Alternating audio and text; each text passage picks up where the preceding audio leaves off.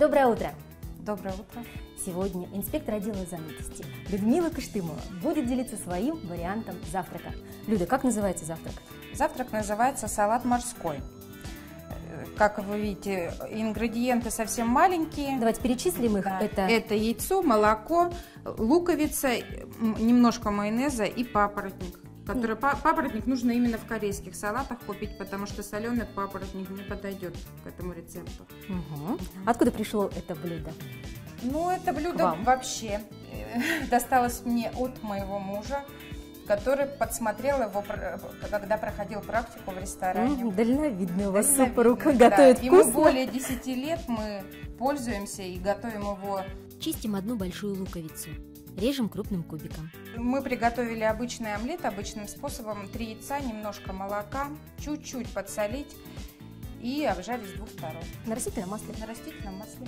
Остывший омлет режем таким же крупным кубиком.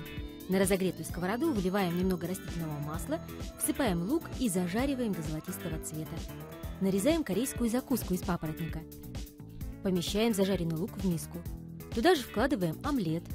Добавляем папоротник. Папоротник. Люда, я знаю, что вы вместе со своим супругом Константином заядлые банщики.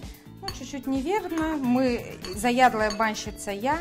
Он только возит меня в баню и забирает с бани. Ах, Да, также Расскажи. построил мне баню. Ну, вообще я любитель общественной бани. вот так. Да, ходить с подружками и с... У нас такой уже тесный коллектив из 10 человек.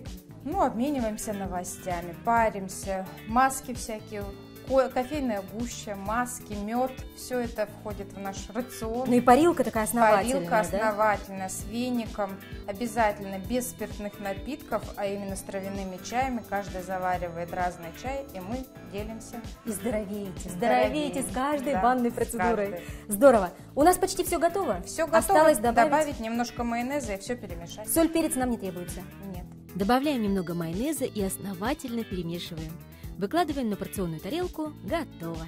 Ну что ж, вот он морской салат. Для нас так и осталось Загадкой. интригой и загадкой, почему же он морской. Морских ингредиентов мы не выявили, но вкус обещает быть очень приятным. Да. Спасибо, Людмила. Пожалуйста. Приятного аппетита. Приятного аппетита.